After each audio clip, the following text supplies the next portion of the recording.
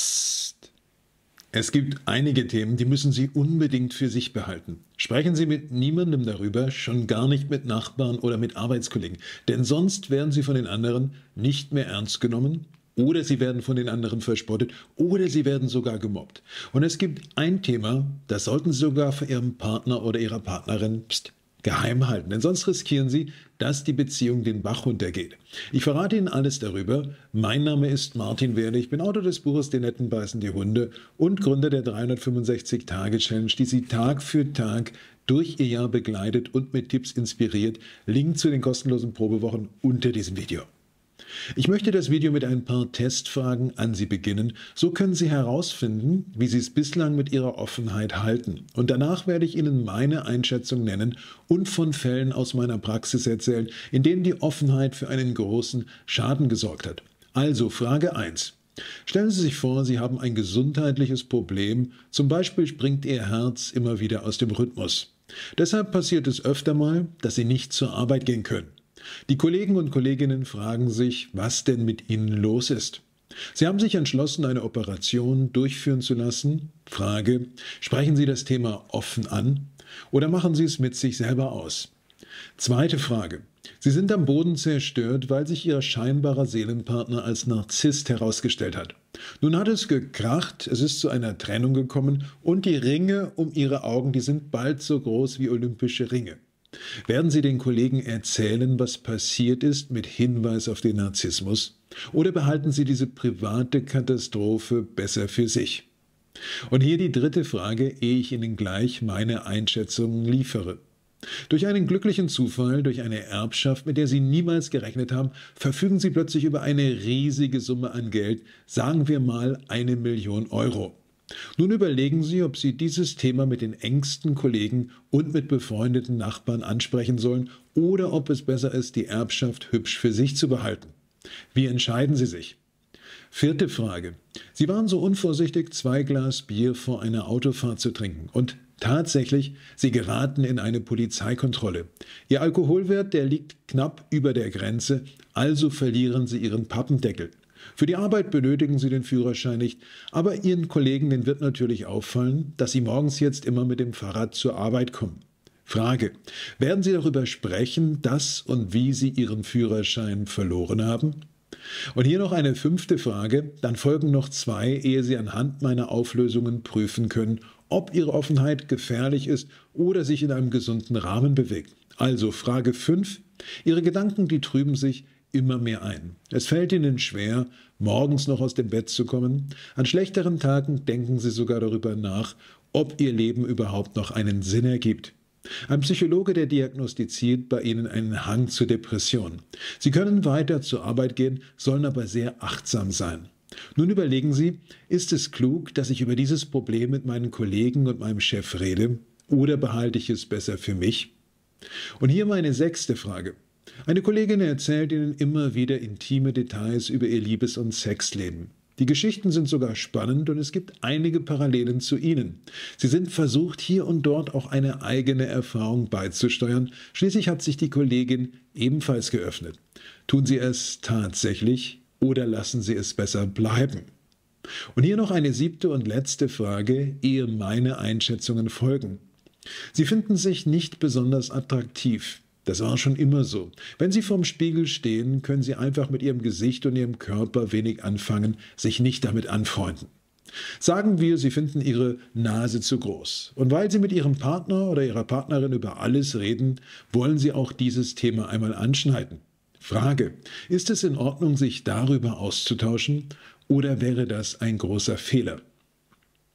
Und jetzt folgt meine Auflösung im Schnelldurchlauf. Mal gespannt, ob Sie mit meinen Einschätzungen einverstanden sind oder ob Sie ganz andere Antworten gefunden haben. Erstens, machen Sie die Herzrhythmusstörungen publik und die anstehende Operation. Mein Tipp lautet, tun Sie das am Arbeitsplatz besser nicht.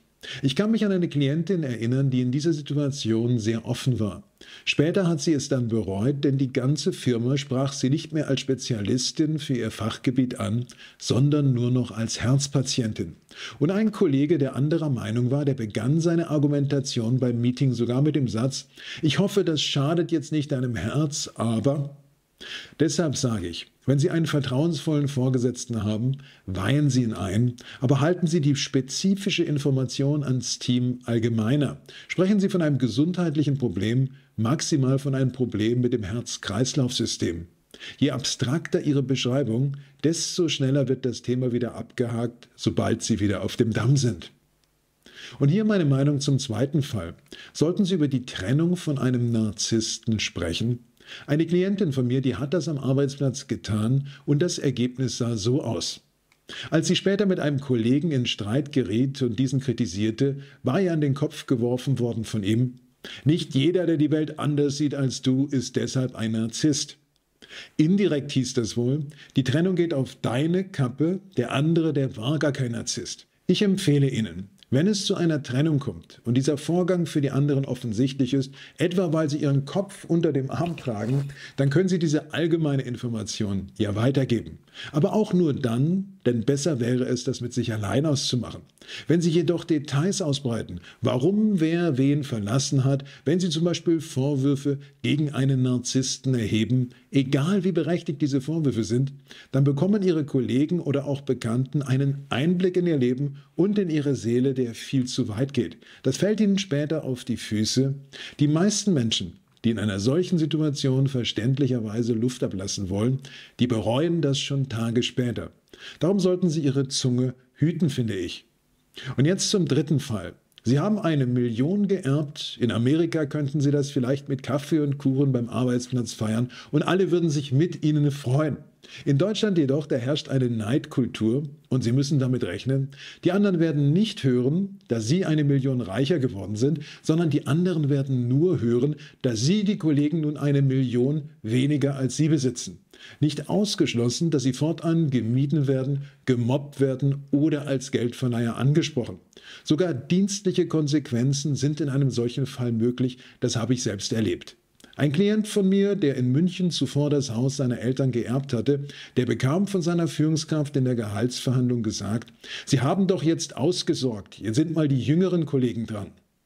All diese negativen Effekte, die wollen Sie ganz sicher nicht. Deshalb lautet mein Rat, reden Sie über eine solche Erbschaft nur mit sehr, sehr engen Menschen, bei denen Sie ganz sicher wissen, dass sie sich mit Ihnen freuen und keinesfalls neidisch sind.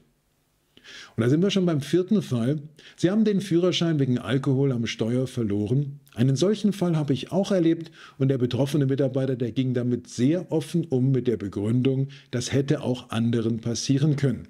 Der Schuss, der ging gewaltig nach hinten los. Die Gerüchte über seinen Führerscheinverlust, die pflanzten sich bis in alle möglichen Abteilungen fort und schließlich wurde er zu seinem Chef zitiert und darauf hingewiesen, dass es der Seriosität des ganzen Bereiches schade, wenn ein Mitarbeiter als verkappter Alkoholiker gelte. Verkappter Alkoholiker. Wie gesagt, der Mann hatte zwei Bier getrunken. Das Problem war nicht der Alkohol an sich, sondern dass er in diesem Zustand noch ins Auto gestiegen war. Deshalb lautet mein Tipp, wenn Sie den Verlust des Führerscheins nicht aus dienstlichen Gründen erklären müssen, behalten Sie das unbedingt für sich. Leider wird menschliches Versagen gerade im Arbeitsumfeld oft nicht als wertvolle Lektion betrachtet, sondern als ein Fußabdruck des Charakters, den man auch auf andere Felder übertragen kann. Und da sind wir schon beim fünften Fall. Sie haben sich eine Depression eingefangen. Und in diesem Fall lautet meine Antwort eben nicht, dass Sie keinesfalls darüber reden sollten.